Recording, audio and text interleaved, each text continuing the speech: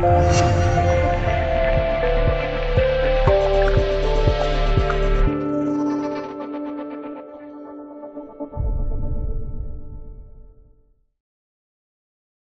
年以来，美银美林已经数次提醒美股投资者，做多科技股成了最拥挤的交易。一旦市场回调，参与其中的投资者将首当其冲。如今，越来越多投行分析师也开始发出同样的警告。摩根士丹利表示，美股或将迎来大回调，持仓集中在科技股将遭受更大冲击。零一新一轮科技股大跌，周一。除了英特尔以外的科技明星股普跌，这一抛售潮由上周三美股盘后，全球最大社交平台 Facebook 公布财报引发。当时公司发布了意外逊于预期的今年余下时间营收和盈利指引。除了 Facebook 以外，最近三个交易日，推特累跌约百分之二十九点一，奈飞累跌约百分之七点七，特斯拉累跌于百分之六点零，微软累跌于百分之四点九。亚马逊累跌逾百分之四点五，谷歌母公司 Alphabet 累跌百分之三点六，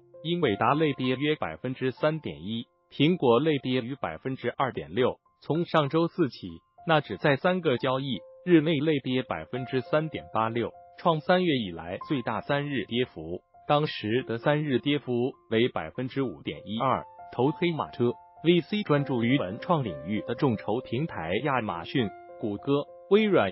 Facebook 和奈飞等美股前十科技股市值周一共蒸发了八百亿美元。科技股居多的纳斯达克一百指数有四分之三个股下跌，NYSE FANG 加指数跌入技术位盘整区间。零二美股将迎来二月以来最猛烈一波调整。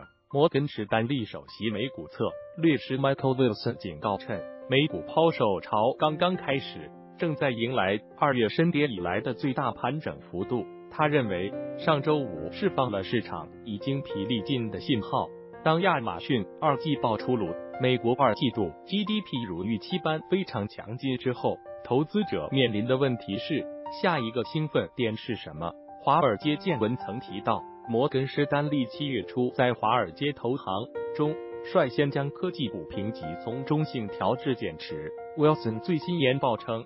当时这一路径受到了大部分客户的质疑，但自从六月十八日上调了公用事业板块评级以来，防御型板块已经大比例跑赢了大盘。他认为，月初研报虽然没预计到财报不佳，但建议科技和成长股的风险比市场预期要大。就算是很好的财报，尚且会引发市场失望的定价行动。任何指标逊于预期，自然。会被更严厉的惩罚。上周奈飞和 Facebook 等重点科技明星股财报不佳，证明其预判是正确的。Wilson 指出，过去几周市场发送了一些有误导性质的信号，上周四之前相对限制了科技明星股财报不佳带来的负面冲击，特别是上周三美欧谈判展现利好信号，给了市场虚假的安全感。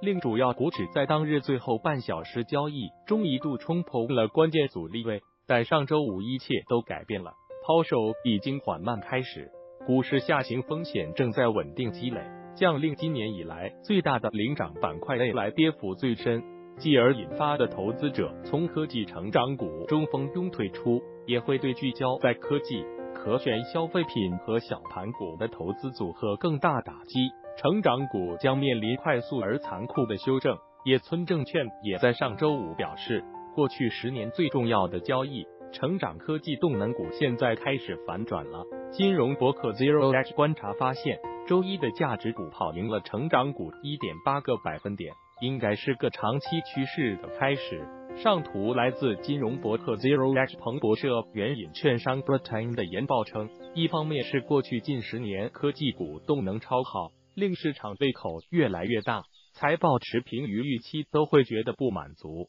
同时，所有资产类别的相关性正在上升。随着财报季结束，投资者会对全球外部威胁给予更多关注，提高了引发系统性风险的可能性。金融博客 Zero H 指出，特朗普就任总统以来，一直标榜本届美国政府对经济和金融市场的推动能力。一个有趣的问题是。特朗普有多大的忍耐度？看到股市下跌，他如果再一次攻击美联储，要求美联储为了救市而停止加息，甚至是停止缩表，都将再度引发市场撼动。零三美银美林最执着警示科技股交易拥挤，在这一轮科技股大跌之前，美银美林可以算是最执着警示科技股交易拥挤的投行之一。早在今年初。美银美林就表示，按照历史经验，应该在一年之初警惕那些最拥挤的交易。从零九年开始追踪的数据表明，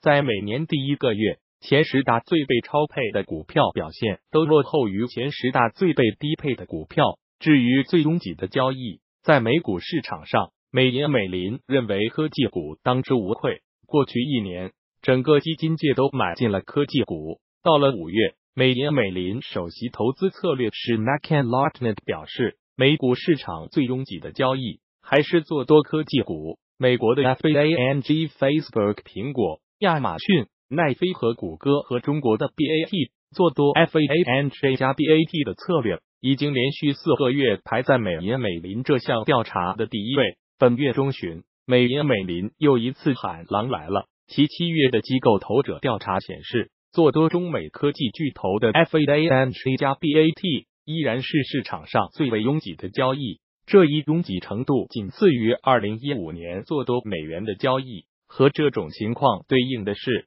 ，FANG 几乎也成为美股上涨唯一的动力。同样是在本月中旬，美银美林在另一报告中称，今年上半年标普五百指数累计上涨百分之二点六五。但是如果将 FANG 五巨头剔除，那么标普五百指数上半年的表现则为下跌百分之零点七三。在 FANG 的带动下，上半年科技股对标普五百指数涨幅的贡献率高达百分之九十八。不过需要注意的是，也并不是所有知名投行都认为科技股的交易很拥挤。